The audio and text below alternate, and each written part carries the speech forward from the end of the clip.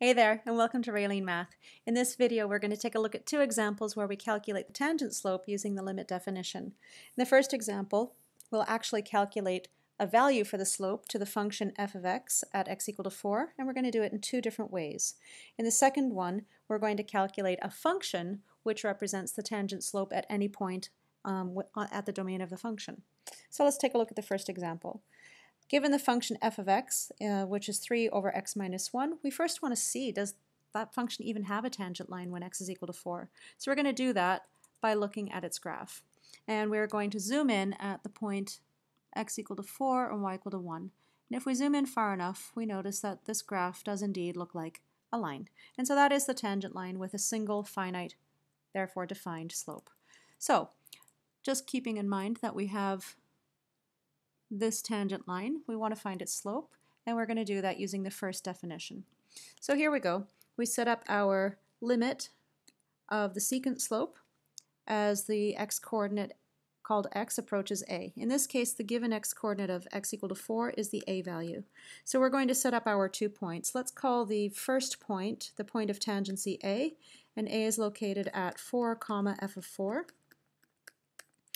And so if we substitute 4 in for x, we get that this point is located at 4 comma 1. And the second point, the point that is going to move towards the first point, is going to be located at x comma f of x.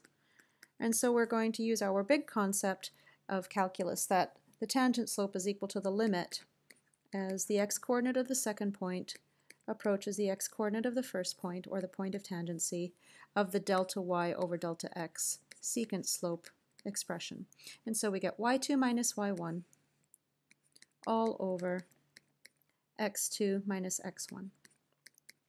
And so we make our substitution here, and we see that this f of x function gets replaced with 3 over x minus 1. And so at this point, we can recognize that all of this expression here is some function. Not f of x, it's a different function. Maybe it's called g of x. And so g of x, um, I won't bother writing it all out, it's that whole big bubble. But if we were to substitute 4 in for x, we would get 3 over 4 minus 1 is 3 over 3, and 1 minus 1 is 0, all over the denominator, which is 0. And so we know that this is going to need determining this limit value. And so the clue is in the algebra. When we look for the verbs of what we have to do, we see that we are dividing some things, we are subtracting some fractions, and so that suggests that we get a common denominator.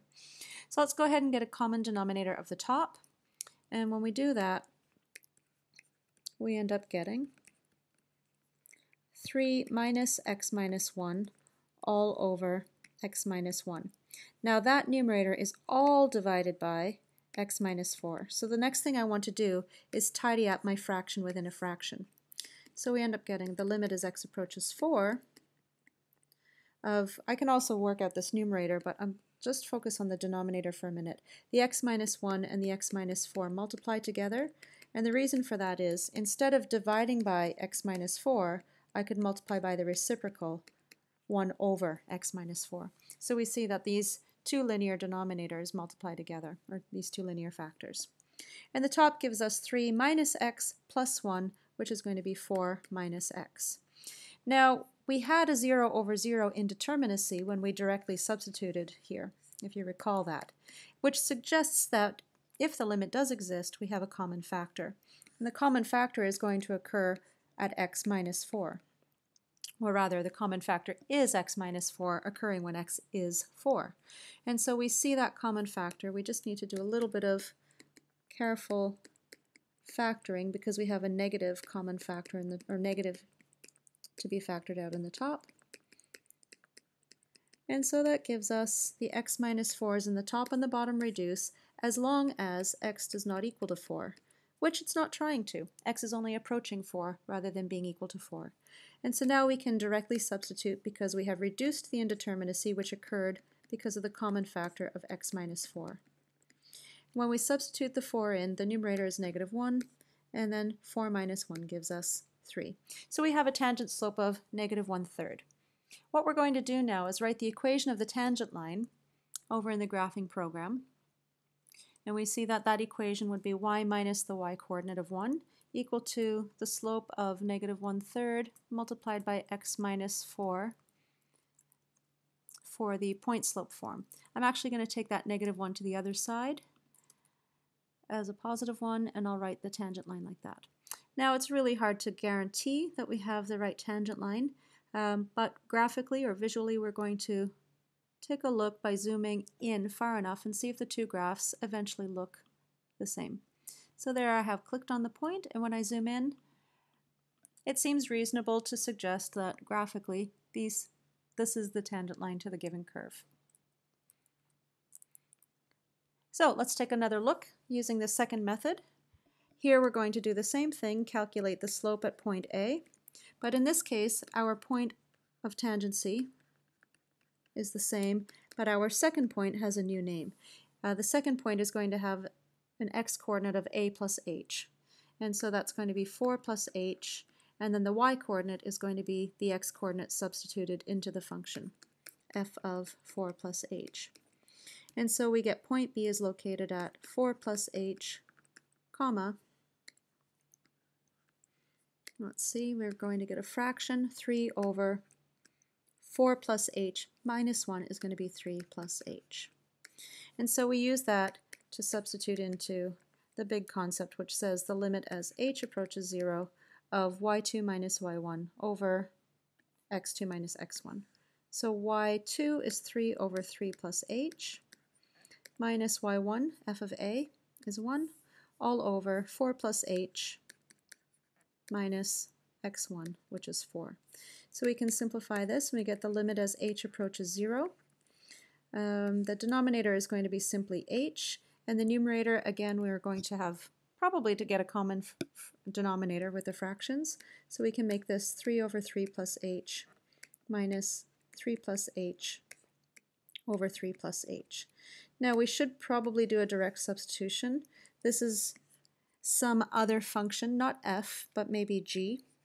And when we substitute h equal to 0 into this function, we end up getting 3 over 3 3 over 3 minus 3 over 3, which is 0 all over 0. So again, we have to find the source of the indeterminacy by doing something. We already started that process by getting a common denominator.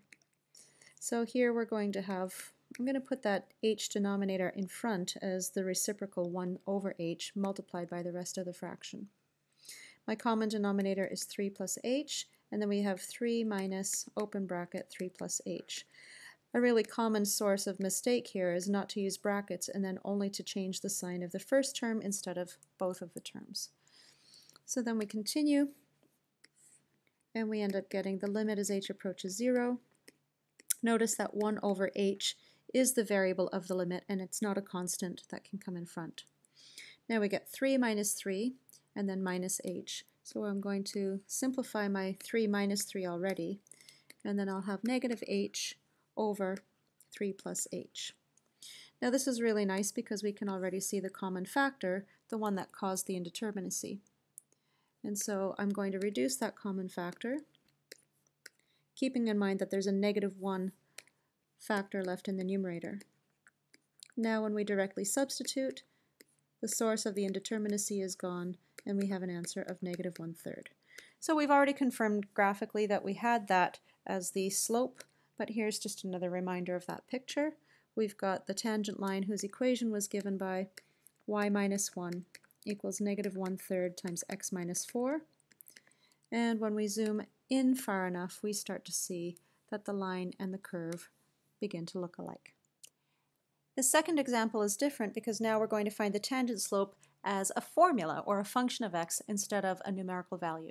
So here's the graph of the function y equals 2x over x squared plus 1, and we are going to confirm our solution by plugging in three different x values once we get the formula.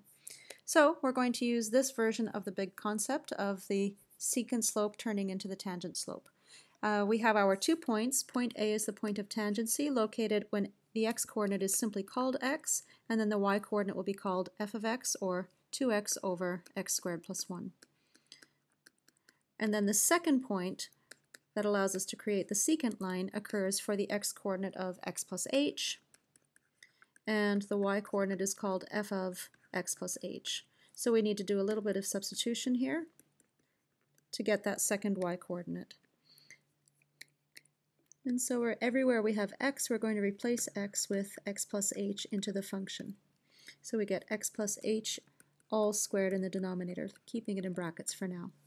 So now our secant slope is going to be the limit as h approaches 0. Remember, this really came from the second x-coordinate approaching the first x-coordinate, which is the second point of the secant line approaching the point of tangency for the x-coordinates.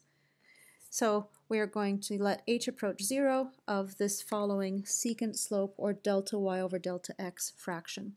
So I'm going to take y2 minus y1. And there's a lot of algebra here, so we just have to go slowly and be careful with it using brackets. And we're going to get minus y1, which is 2x over x squared plus 1. And all of that is going to be over x2 minus x1, which is just h. Okay, so we have couple things to consider, but the first thing we should think, we've just got an expression here, or a function. This circled function is no longer the function f, it's some other function, we might call it g, and g depends on two unknowns, both x and h. And what we're going to be doing is substituting when h is equal to 0. And so we would get some expression in terms of x. If h is e equal to 0, we see that the first term and the second term of the, of the numerator are the same. And the denominator is just 0, so we end up getting an indeterminate expression when h is substituted equal to 0. So our goal is to determine it. So what we can do is look inside that expression and see that there's some verbs here. Again, we are subtracting two fractions, so the strategy we might choose is to get a common denominator. We really want to write this in a different way that allows us to see the source of that indeterminacy when h is equal to 0, and hopefully we can reduce that. What we're looking for, because h equal to 0 has a common factor or has a factor of h, we're really expecting that there's going to be an h common factor in the top and the bottom. Okay, so I'm going to pause the video and give you a chance to try getting the common denominator and check in with you in a minute. So I've tidied up the fraction, giving me a bit more space to work. The numerator has a common factor of 2, and it's a constant, so I've taken that common factor constant outside of the limit. I also rewrote my very denominator h as the reciprocal 1 over h, and now I'm multiplying it by the rest of the numerator fraction. So now I'm working on this numerator fraction, and I got a common denominator over here, and you can see the common denominator as the product of the two individual denominators. So once I got the common denominator, um, I'm going to expand it and see what happens. So I'll pause the video again and let you check and try on your own and check in in a minute. So I've taken some time and some care here. It's really algebra heavy. I expanded this uh, square bracket first by squaring the binomial, and then I distributed the negative x throughout all four of these terms. So again, be careful to distribute the negative not just through the first term, but through all four terms. Uh, and I also just made one denominator. I multiplied the h all the way through. So now I'm going to take this term and simplify it. I have an x cubed and a negative x cubed. I have a positive x and a negative x. And then the remaining terms all involve h, which is interesting because then I have a common factor of h, which I said I was looking for so that it allowed me to reduce the indeterminacy when h is equal to 0. So from here I'm going to simplify it again, rewrite the common factor. I'll pause the video and give you a chance to try it on your own, and we'll check in in a minute. So I've got it down to here so far. I saw that there was a common or common term like terms, so I was able to combine them by adding the or subtracting coefficients. And then every term has a common factor of h, so I factored it out, I reduced, and now I'm able to directly substitute. So I'll have 2 times the fraction when x is equal to 0 rather than when h is equal to 0. Uh, this third term is 0 and that term is 0. And so I end up with negative x squared plus 1 in the top all over x squared plus 1 multiplied by another x squared plus 1. And so this is a formula that doesn't depend on h anymore, it's simply a function of x. So I'll tidy it up we get x squared plus 1 squared in the denominator, and I'm going to write the 1 in front because I like to lead with a positive term, and just for convenience I'll simplify by distributing the 2 through. There's nothing else to reduce. So to confirm that we have the right tangent slope formula or function of x, we are going to take three different x coordinates, plug them in, and then sketch the tangent line. I'm going to introduce you to the idea of ordered triples, which is just one more piece of information from an ordered pair. It gives us the x-coordinate, the y-coordinate, and the slope of the tangent line so that we can write the equation in point slope form. And we're going to do this with three different x-coordinates. In general, the ordered triples are going to be given by x in this function 2x over x squared plus 1 for the y-coordinate and 2 minus 2x squared all over x squared plus 1 all squared. And so we're going to first of all substitute x equal to 0. So the ordered triple is going to give us 0, substituting 0 for the other pieces gives us 0 for y and 2 for the tangent slope, which gives us a point slope form of y minus 0 equals 2 times x minus 0, or simply y equals 2x. So let's take a look at the graph and see if we don't get that correct tangent line equation. I'm just going to change these coordinates for x and y from the defaults of 1 and 1 and change the slope from the default of 1 to 2. So now we have uh, 0 for h and k, 2 for m, and we have our tangent slope here. If we zoom in, if we have found the correct tangent slope and therefore the correct tangent line equation, the blue graph should look like the tangent line when we zoom in far enough. I think that matches. So let's go back and confirm this for the next point, which is going to be at x equal to 1. So now when x is equal to 1, the ordered triples will be 1 for x, 1 for y, and a tangent slope of 0, which means we should be getting a horizontal tangent line. And the right-hand side is completely equal to 0, so y equal to 1 is a horizontal line, corresponding with a 0 slope. So let's take a look at that equation. I can replace the x and the y coordinates here with 1 each, and then the slope is 0 or I can simply write the equation y equal to 1. And so if I zoom in at that point, far enough, I see that the blue curve looks like its tangent line of y equal to 1 when we zoom in far enough. The last point we will check is when x is equal to negative 3. And so we have a different ordered triple.